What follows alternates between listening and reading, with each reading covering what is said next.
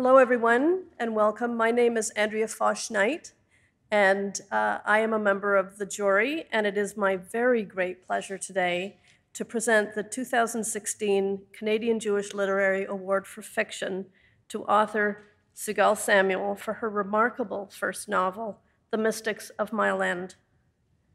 As a reader, as a juror, it is always exciting to celebrate the work of a young author at the very beginning of her writing career. And there is so much to celebrate in this book. It is set in the wonderfully varied and vibrant neighborhood that is Montreal's Mile End. It is a book that is not only rich in characters, but rich in ideas and the effect that grappling with those complex ideas and beliefs can have on everyday life. As if it were not enough, Sigal Samuel gives us still more in The Mystics of Mile End. And this is a personal note, although it's one shared by the jury. From the very first page, what captivated me was the thought this is an author who loves language, who revels in the sheer joy of language, and we are so lucky that she has shared this with us. So, on behalf of the jury, Ladies and gentlemen, please join me in welcoming Sigal Samuel.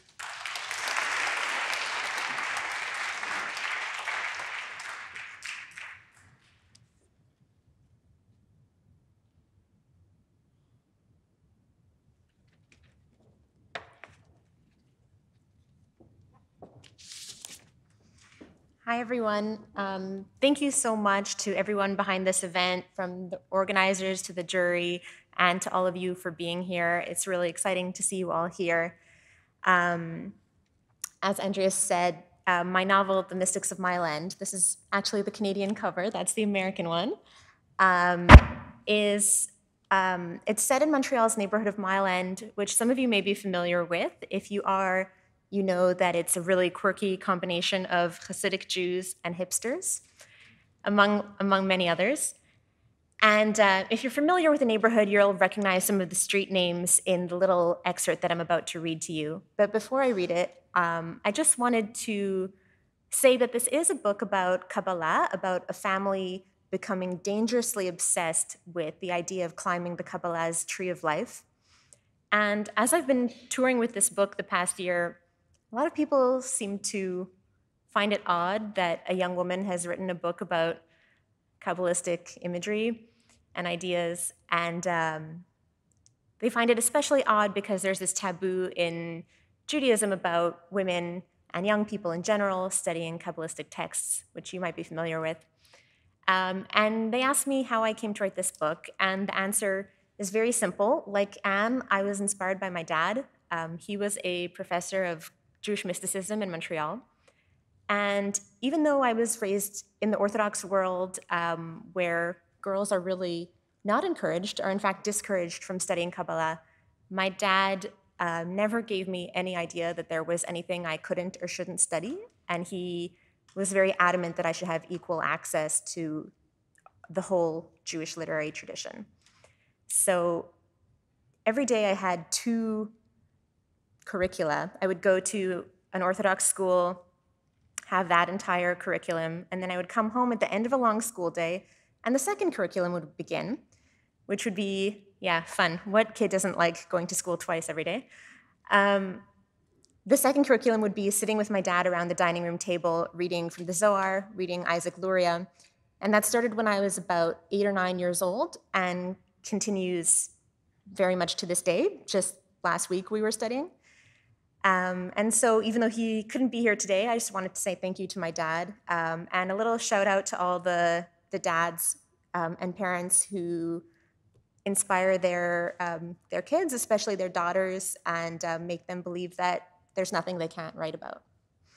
So, the little excerpt I'm going to read to you is from the dad's section of the book. The book is written in four different voices. There's the dad, the daughter, the son, and finally from the perspective of the neighborhood, Mile End itself.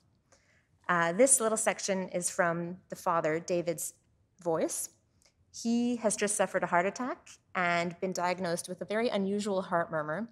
And he is coming to believe that this murmur is actually God speaking to him. which is very inconvenient because he's an atheist. I suddenly needed to go for a run. I knew this would be anathema to Dr. Singh and to Val and to my kids and to whatever specter shadow of their dearly departed mom they liked to imagine might still be watching over me from above.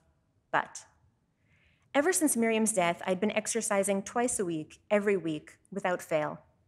Eager to finally shed the physical wimpiness associated with yeshiva culture, I'd become acquainted with the perverse pleasures, the masochism really, of long distance running. Now, because I wasn't about to let one little heart attack undo over a decade's worth of training, I dug out my t shirt, jogging pants, and running shoes and snuck out of the house on tiptoes. The morning sun was high up in a cloudless sky, glinting off the brick row houses, wrought iron gates, and balconies, sparkling in the dewy grass of their tiny front yards. The young professionals had already left for work. The twisting staircases they'd painted in lively purples and greens and oranges were free of the bicycles that usually lay propped against the rails.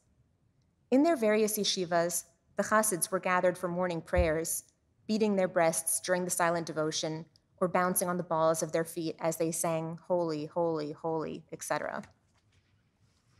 I raced along the tree lined street in a tunnel of green light, then turned onto Bernard. Pulse pounding, I sped past the boutiques and bakeries and was just beginning to get an enjoyable endorphin rush going when all of a sudden I heard it again the odd music, the oddly linguistic music. My heart murmur was audible now. I could hear it thrumming. I could hear it almost saying. Saying what? At that instant, I had the kind of intuition generally enjoyed only from that rearview mirror known as hindsight. Now, right now, before it was too late, was the time to flick this idea away from me, nip it in the bud. It was absurd, the thought of an internal organ speaking in human words that is not what is meant by body language. Yet instead of slowing down to silence it, I sped up. My heart rate accelerated, blood was pounding in my ears.